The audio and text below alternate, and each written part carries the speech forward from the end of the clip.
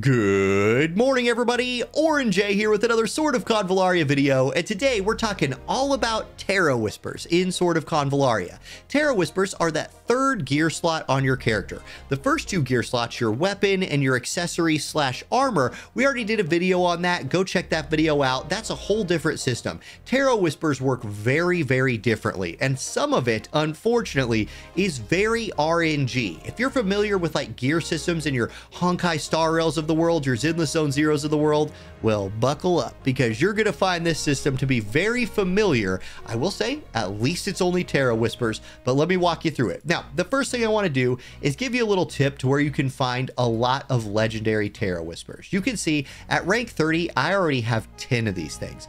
The majority of those 10 have come from the Cornucopia Battle Pass. Now, you will get some freebie random Tarot Whispers in here, but if you buy the bottom half of this thing, you get a lot. You can see right here at rank 50, I get the one free one and five more random ones. You want as many of these things as you can. For one, they're probably the most important piece of gear that your character wears because they give like percent stat increases. In fact, let me throw, not my face, the game without my face on it on the screen for a second right here and show you an example. Here is the Tarot Whisper that my Beryl is currently wearing. Dream of the Magician. Increases your damage by 8% and when casting skills for each additional hit on one enemy, the damage dealt goes up. Obviously, if you play Beryl, you can see why this is a really good Tarot Whisper for her. But if I click this Enhance button, over here on the left, you'll see at the first breakpoint, I got Magic Attack up 73. Okay, that's cool. The second one, I got Magic Attack percent 8%. The third one, at level 45, I will get Max HP up 8%. Here's the stats. Now, let's go back. I happen to have another Dream of the Magician Legendary. Click on that first. Excuse me, click on that for a second.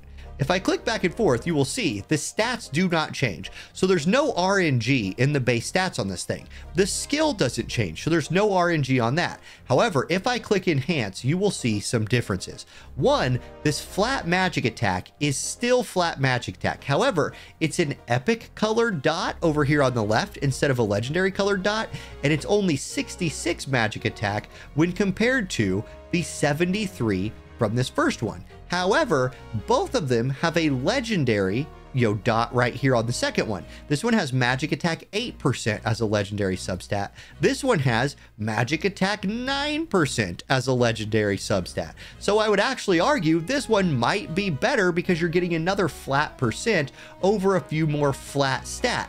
However, I don't know. I would have to like actually do the math on that, but then things get really weird. Here you could see a silver substat at level 45 that gives physical defense 5%. Where on the one Beryl's wearing now, it's another legendary substat that will give max HP 8%. And max HP 8% is probably a lot better than physical defense 5%. So you can see there is some RNG here. And that's where we get to duplicates of these things in this game. Because let me just give you a couple pieces of advice right now that I've shown you that.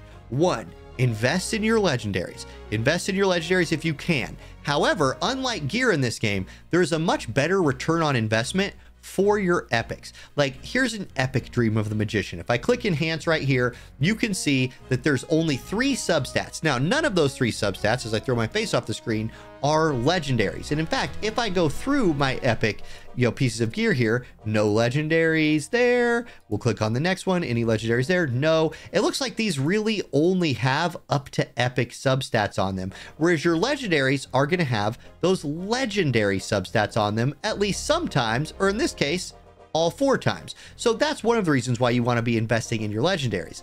But if you really want to run Dream of the Magician on somebody, like a Beryl, but you don't happen to have a legendary version of it, if I click Enhance right here and level this thing up to 10, I'm just going to do it right here. I'm going to level it to 10. It took 306 dust and 612 gold if I go to the breakdown here and I break that thing down, I will actually get 334 of the dust back and 146 gold. Now that 334 dust is a little bit misleading because for every one of these I break down, I'll get 120 just for like a level one, but still that means I'm getting 214 of the 306 I invested into it back, which is about a 70% return on investment. So if you have to level up some epic, um, some epic of these, some epic, what do you want to call it here? Tarot Whispers, you actually will get 70% of your investment back which is good. That also means if you level a suboptimal legendary piece, like say I leveled this tarot, the this one, the dream, this dream of the magician, I leveled this thing all the way to like 50 because my account was at that point. Then I got my better one to drop and I was like, ooh, I got one with like four legendary substats on it. I'm gonna level that one.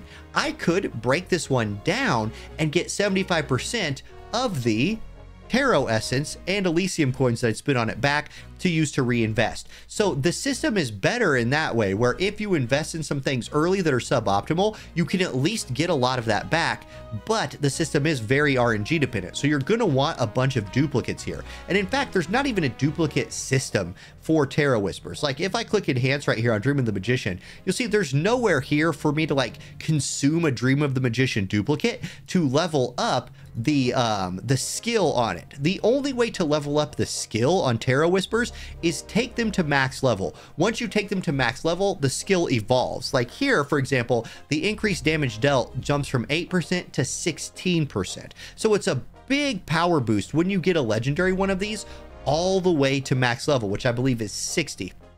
So when you get one of these all the way leveled up, that's how you level up the skill, not by consuming duplicates. So instead, what you're doing with your duplicates is hoping to catch one with better substats. Now here, you can see I have two Mercy of the High Priestess. Let's go look at those. I'm going to throw my face off the screen for a second. This level 21 has Legendary, Bra Epic, Epic, Legendary. Okay. This level 1 one has four legendaries. So let me go ahead and advance this one. This is one I'm going to use because this is a healing boosting one. I'm going to level this to 20. That's 970 of my dust, whatever. I have physical attack 78, physical defense 6%. If I go look at my other level 21, I have magic defense 46 and magic attack 2%. Obviously, if I'm talking about a unit like my Inanna, who's somebody who's going to wear one of those, these two things are not equal, right? This one, with its physical attack, physical defense, physical defense is okay, physical attack sucks for her. For now, this one would be better, magic defense and magic attack. She does magic attack, but this is far from optimal because this magic attack is only like an epic node, and so I could get a better one later, and maybe I invest into this one a little more, in the level 35 stat is like really good for her, it's super RNG. So you're going to want to collect several duplicates of these, level them, and you might get some trash ones that you end up just having to like break down or save as like kind of an emergency piece if you're running two characters in the same squad that might both want to run the same one. So that's the breakdown of Tarot Whispers. Very, very different, very, very random. Let's go look at another one I have real quick. I have duplicates of Desire for Temperance. Now, Desire for Temperance is a Tarot Whisper that gives a shield at the start of battle uh, that's a mix of your physical attack, magic attack. A very generically good Tarot Whisper, right? Shield, like survivability, once you get to harder content in this game, stuff will one-shot the heck out of you. So having a shield on somebody like a Gloria or something like that, not too bad. In fact, this is what my Gloria has been running. Not optimal, but there's a lot of characters in the game that wouldn't mind a shield.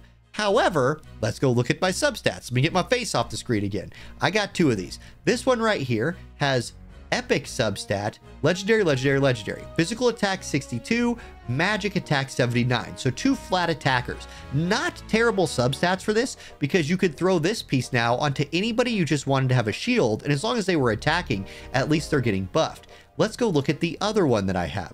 It has physical attack 72 and then let's reveal the second one here. I'm just i'm wasting some stuff right here but it you know it's for content. We're we're doing this for the video. I get a physical attack percentage. So now this one is instantly so much better for gloria because i want my gloria doing damage. Let's see what this changes on her. So if i jump over to gloria and i can throw my face back on the screen now.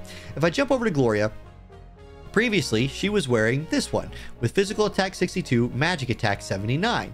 Her attack right now is 1048. Let's switch her to the other version of the same one, which was Do, do, do. I leveled it to 20, didn't I? Or did I level a different thing to 20? Uh, nope. It's right here. Boom. So let's switch this percent base one. Equip it. Back off. She's now at 1058. So I gained some attack right there. What did I lose? Some magic attack. But who cares about magic attack on Gloria? I'd rather have that 10 physical attack or that, you know, 8% physical attack. Great. Okay, so that's the game you're playing when you're leveling Tarot Whispers. It's very RNG, but Again, at least it's only Tarot Whispers. It's not your weapons and your armor. It's just Tarot Whispers. And there you go. So I hope that clarified a bunch of things. Again, you can break down your epic Tarot Whispers and get that 70% of whatever you put into them back, which I think is a really good thing, especially if you're not buying the battle pass and getting yourself lots of legendaries right now. You will eventually be able to farm legendaries, but those stages are a little bit in the future and very hard. You will need gear leveled up to farm those stages, in my opinion. So at least with Tarot Whispers, it's super RNG, but you can level epics and get 70% of what you put in back. That's the video. There's my face. Okay, thank y'all for watching. Have a great day, and I'll catch you next time. Peace.